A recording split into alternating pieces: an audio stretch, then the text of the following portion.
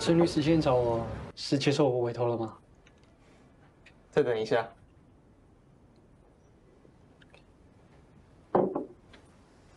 这边请。你怎么来这里？这里？哦，跟踪我。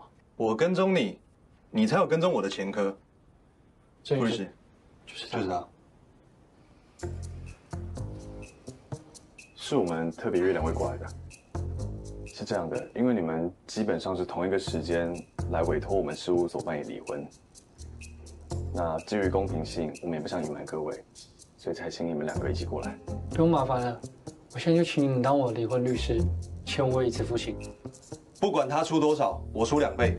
我靠，离婚你就可以撒钱啊？我那时候要买个露营车，你跟我啰里吧嗦的。你还敢提露营车的事情？那笔款项那么大笔，你有跟我商量过吗？钱是我赚的，我要怎么花是你的事情。要那么幼稚啊！那台车心那么好，两位冷静一下，我们事务所绝对不会因为钱的关系而拒绝客户。他们两位到底是多讨厌对方啊？那我接着继续说明，今天主要找两位来呢，是为了要评估你们的品性，进行委托。那如果你们有一方不愿意配合的话，我们可以立刻停止评估，直接为另一位进行委托。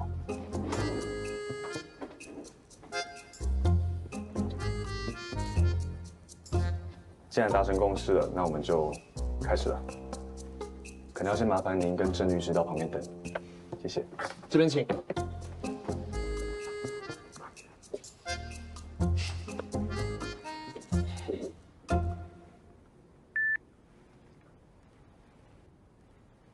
那接下来的部分，我们会用录影的方式，以便之后做查证。哦，请用第三人称的方式介绍自己的优点跟缺点。我是一位，呃，他是一位老板，擅长行销以及塑造企业的形象。缺点的话，嗯，能就是个性有一点激进，做什么事情都想要用最快的方式去完成，所以常常会表现的。过于自我，不听旁人的意见。请用第三人称形容你的婚姻。表面上很和谐，其实一直不断的在争吵。可能是因为同公司的关系，有合作有竞争，对自己的想法都非常有自信，也很少去妥协，就好像，就好像。谁也不想输给谁一样。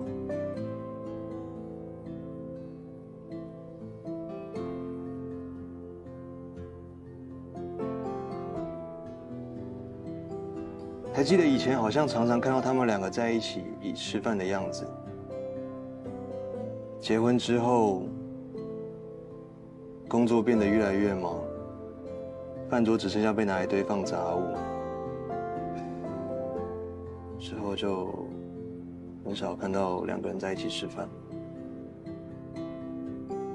请用你自己的角度形容第一次看到他的样子。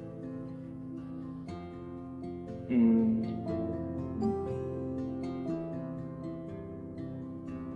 热情的笑容，爽朗的个性，可爱的酒窝。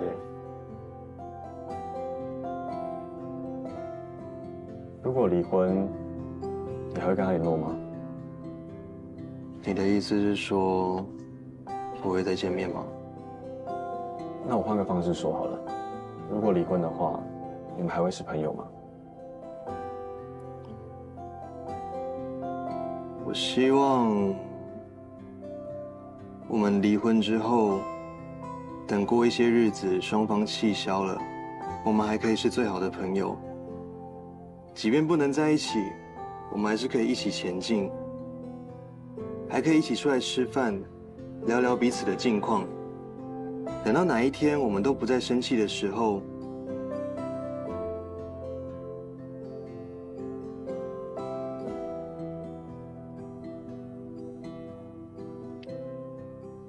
可以跟对方好好的说一声谢谢，谢谢对方曾经那么的努力，谢谢对方那么的包容自己，谢谢对方，谢谢对方那么的，那么的。谢谢对方那么的爱自己。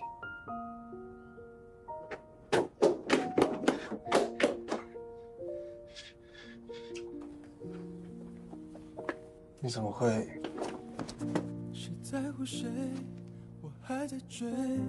阻止你冲过来抱着我，跟我说我们会撑起公司。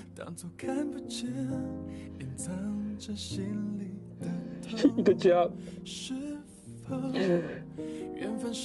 不是我们的约定？是该面对，还是让了会？谁在乎谁？伤痛了没？告诉自己别想太多，往心里走，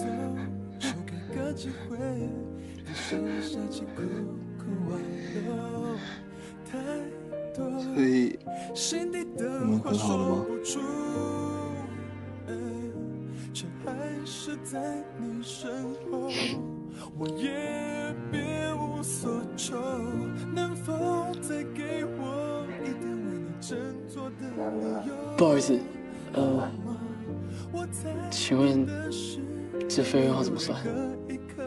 没有成案，转入咨询费就好。谢谢。那款项的部分，我再汇给两位。没问题，谢谢。走了。难不成你要谈离婚？